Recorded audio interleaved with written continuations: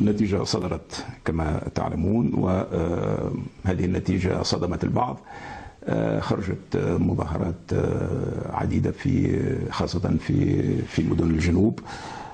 وهذه المظاهرات يعني أدت إلى أعمال شغب. بطبيعة الحال أنا أتفهم مشاعر الذين صدمتهم هذه النتائج. أنا أعرف أنه حق التظاهر السلمي حق من حقوق المواطنين. أنا أعتبر أنه هناك وقعت فعلا خروقات عديدة التي أثارت غضب المواطنين لكن هذه الخروقات أنا قررت أن سنعرضها على الرأي العام وسنعرضه على الهيئة العليا للانتخابات لكن نريد الإسراع في تشكيل الحكومة ونريد أن أن تستقر تونس وبالتالي فإننا لن نذهب إلى المحاكم. لأني أنا هاجسي الأول هاجسي الأول هو الاستقرار وهاجسي الأول هو أن تكون لتونس حكومة يعني تبدأ تشمر عن سعيدها باش تبدأ تخدم في أقصى قدر من السرعة لأن المشاكل متراكمة وإحنا بحاجة إلى الاستقرار. هذا الاستقرار لا يكون إلا بتهدئة الخواطر وبالتالي فأنني أتوجه بنداء حار إلى كل المواطنين والمواطنات خاصة في الجنوب.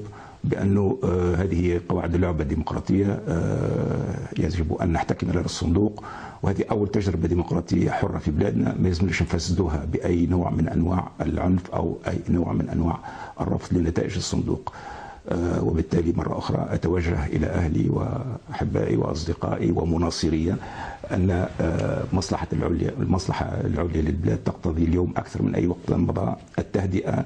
فبارك الله فيكم على الرجوع إلى بيوتكم وبارك الله فيكم على يعني على ترك أي عمل من شأنه أن يهدد الأمن ويهدد الاستقرار ويهدد الوحدة الوطنية. وهنا هنا أريد أن أؤكد على هذه الوحدة الوطنية التي هي يعني كنز الأساسي في بلادنا ويجب أن نحافظ عليها ويجب الترفع عن كل خطاب من شأنه أن يحقر أو أن يهمش أو أن يبخس أي جهة من جهات بلادنا العزيزة.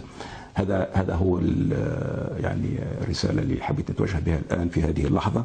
علما وأنني غدا يعني على الساعة الخامسة في أريانا سأتوجه إلى الشعب التونسي وإلى كل من ساندوني بخطاب نحدد فيه موقفي بكل بكل دقة من الكثير من القضايا السياسية. لكن الآن في الوقت الحاضر التهدئة فالتهدئة ثم التهدئة وشكرا لكم على تفاهمكم وعلى وطنيتكم وعلى حرصكم على استقرار تونس وعلى مناعتها وعلى أن تواصل طريقها الصعب الشاق نحو الديمقراطية في كنف السلم وفي كنف الوحدة الوطنية. شكرا جزيلا والسلام عليكم تحية تونس.